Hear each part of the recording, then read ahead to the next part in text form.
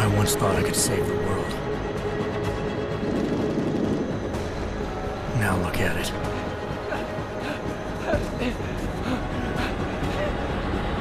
In yet another augmented terror attack, 251 passengers aboard Sista Airlines Flight 451 were killed. When an augmented passenger broke into the plane's cockpit and ruthlessly butchered its flight crew.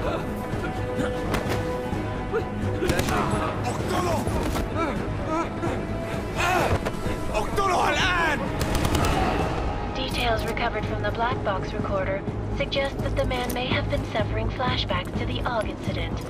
That horrible day two years ago when augmented people all over the world flew into a psychotic killing spree, causing the greatest loss of life in recent history. Sometimes, you just have to let go. And embrace what you've become.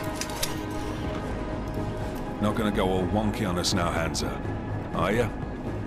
Well, if I do, MacReady, I guarantee you'll never see it coming. Agent Jensen! Am I gonna have a problem with you? No, sir. No reason to assume you would. Good. Because you are the only augmented operative on this team, and I intend to make good use of you. Listen up, all of you. We got a sandstorm barreling down our ass and we can't afford to make mistakes.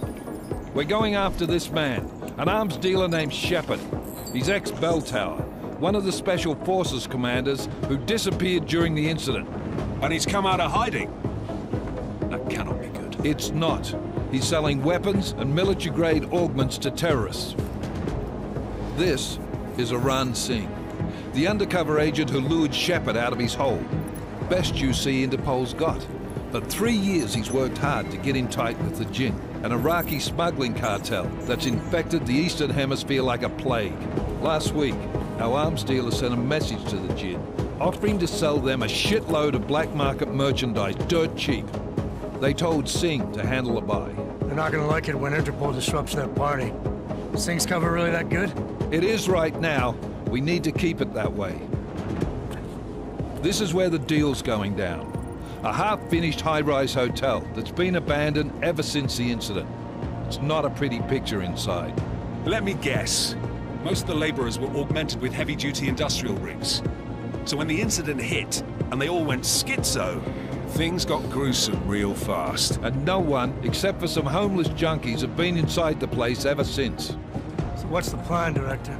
Singh's meeting Shepard on the ground floor, inside the hotel's main atrium. He sent the bulk of his Jinn crew to the penthouse levels to secure a vantage point.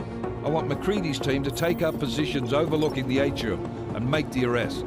Jensen, you're going in solo from the roof. My objectives? Keep the Jinn from joining the party.